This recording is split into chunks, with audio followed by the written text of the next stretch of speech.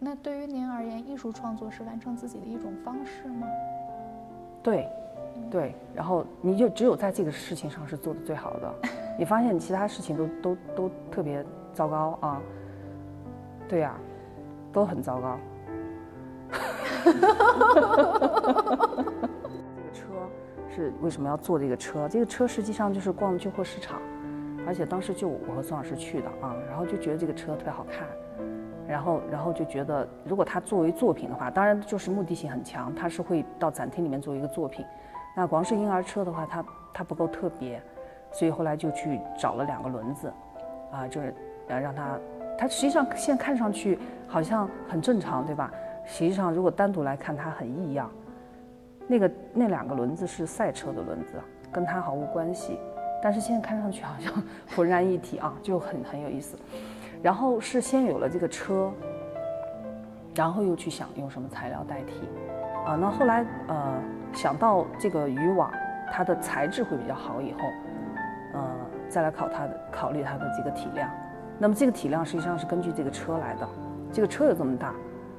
那么如果需要一个网啊，当然像梦一样就罩住它，应该是一个什么体量的，但是后来呃也有很多意外，等网来了以后才知道它的材质。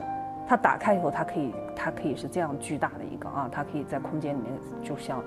就像梦一样蔓延开来的这么一个东西啊，所以艺术就可能有趣就有趣在这儿。然后呃，布雕这个东西，也是我们当时 经常就是开一些这个创作的呃讨论，就是最后讨论的结果就是我们我要用一个布来做一个，因为布这个东西很简单，大家都会缝纫，都会去用针和线啊。就是我想男生也会的啊，袜子破了也会用针和线去做一做，这个是门槛很低的，不需要技巧。那当时就是画一些小的速写啊，我觉得马蹄莲这个速写画的就是比较有感觉，然后这个花的造型又比较简单，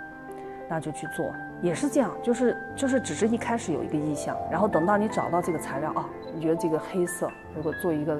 这个花的话，它很野性，很有力量。然后等做出来，那个时候还是就是现在想的话，还是很怀念那种状态的，全靠手缝啊，就那么大体量的，就是裁完以后就是就完全手都缝缝出老茧来了啊。特别关注这个主题，以前就是觉得自己是个愤青，就你有很多地方很愤怒，就特别毕业以后，然后你 不知道到底哪愤怒啊，啊，然后后来就呃，我觉得这个真正是意义上是呃，苏老师他是一个真正的艺术家，我觉得。他对这个社会是有责任的啊，然后艺术艺术在这个社会里面当然是非常非常重要的啊，啊，对，它和哲学也不一样，它和科学也不一样啊，它然后它所以它必须存在，